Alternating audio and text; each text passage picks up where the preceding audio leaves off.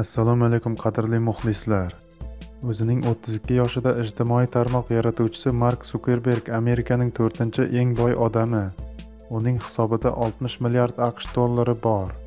Sukerberg milliarderlarning yangi avlodi ramzi u kostyum kiymaydi pulni ko'p sarflamaydi va ancha zamonaviy ko'rinishga ega.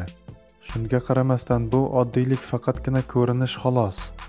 Ancha vaqt mark yaxshi daromadga ega bo'la turib facebook idorasi oldidagi uyni ijaraga olib yashab kelgan.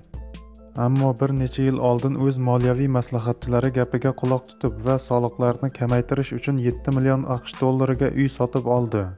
Bu pul uning umumiy mulkini hisobga olganda dengiz ustiga tomchi kabi. Uy muhiti anchagina tinch va sokin. Mark sukerberg uning turmush o'rtog'i va qizi alohida mehmonlarni chaqirmasdan va bayramlar o'tkazmasdan yashashadi. Izolyatsiyalanib yashashga moyillik rivojlanmoqda. Facebook boshlig'i hozirda uy atrofidagi barcha uylarni sotib olmoqda va bunga u 30 million dollardan ortiq sarf qilmoqda.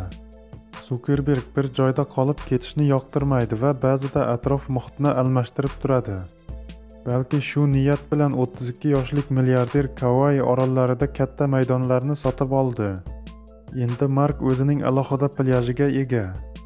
Ammo u o'ziga o'xshamasdi. Agar yoqimli ishni foydali ish bilan solishtirmaganida oroldagi o'sha 700 akrda shakar qamishlarini ishlab chiqarish bo'yicha zavod joylashgan va shuningdek organik mahsulotlar yetishtiradigan ferma ham bor. Umuman olganda mana shular mark sukerbergning boyligini ko'rsatuvchi narsalardir boshqa tomonlama u millionerlardan hech ham farq qilmaydi. Oddiy futbolkalar kiyadi va volkswagen haydab yuradi. O'tgan yili sukerberglar italiyada dam olib o'tirgan vaqtlarida muxbirlar ularning makdonaldsda ovqatlanayotganlarini rasmga olishgan.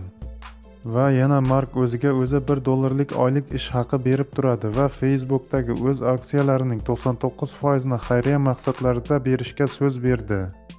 U texasdagi bog' o'tirishda rodeoda bo'lgan oddiy amerikaliklar bilan tushlik qilgan. Viskonsinda sigir soqqan. Xabar berishlaricha mark bir yil ichida barcha shtatlarga borib kelishni maqsad qilib qo'ygan. Va endi ko'pgina ommaviy axborot vositalari gumon qilishyapti. Bu prezidentlik kursisi uchun kurash boshlanishi emasmikan? Sukerbergning o'zi jim siyosiy mavzularga suhbatlashishdan o'zini tortadi ammo kim biladi u donald trampning o'rniga kelmoqchi emasmikan?